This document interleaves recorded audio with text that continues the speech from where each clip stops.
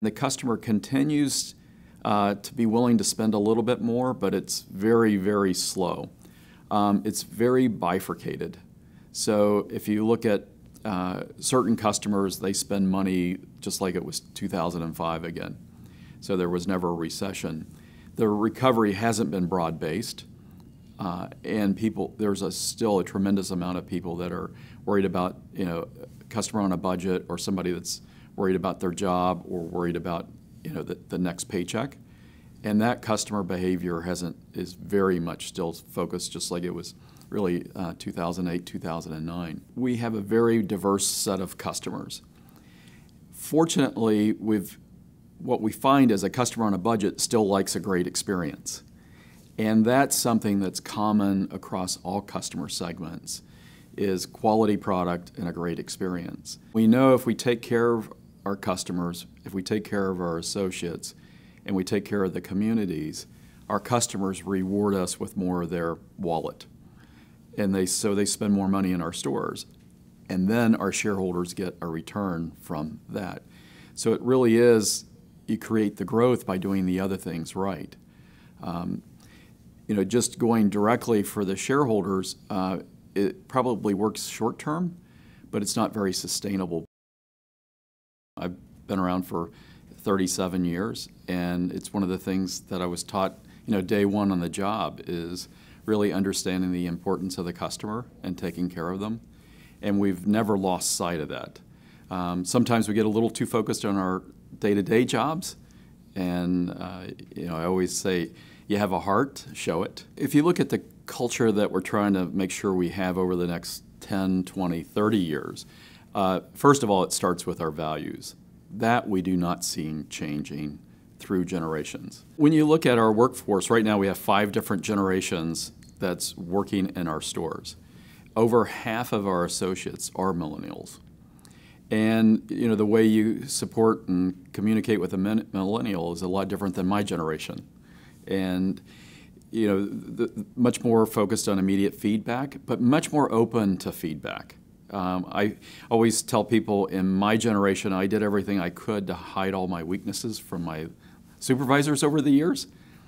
Um, but the people I worked with knew exactly what my weaknesses were.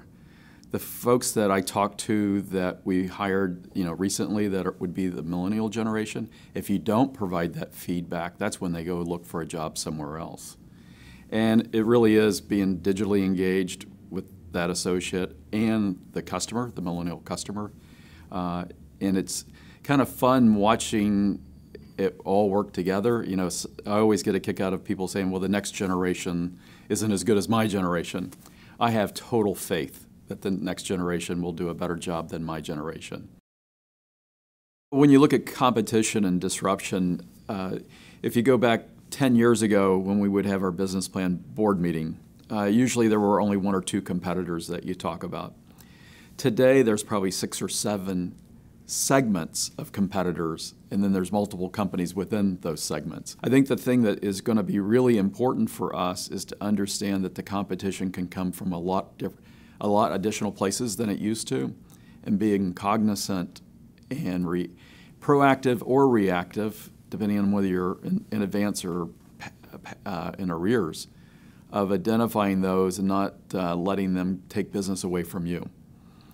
Uh, but you know, to me, it's the part that's exciting. It's the part that's so exciting about free enterprise, is every one of those competitors will cause you to get better.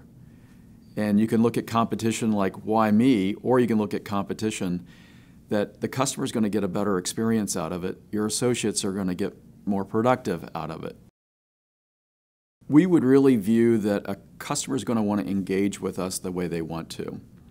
Sometimes that will be technology based. Sometimes it's still going to be physically talking to somebody. You know, if, if you think about, just think about your best ever customer ex experience you had as a customer, how it made you feel in all likelihood, you know, the time that you went to your favorite restaurant or your favorite food or your favorite server, it's hard to get that electronically. So it's going to be really important to provide that to a customer. But there's other times when you're in a rush and you need to be in two places and the kids have a soccer practice and oh by the way you forgot something. You're going to want to just be able to pick up your phone, have somebody tell you what you might want for dinner and be able to pick it up for dinner. So I think technology is going to take us to a place that none of us can imagine other than it's exciting. And I think part of the key will be being nimble enough and being ready for those transitions. And if you try to bet everything in one spot, it'll be like going and putting all your eggs in one basket. I don't think that's right.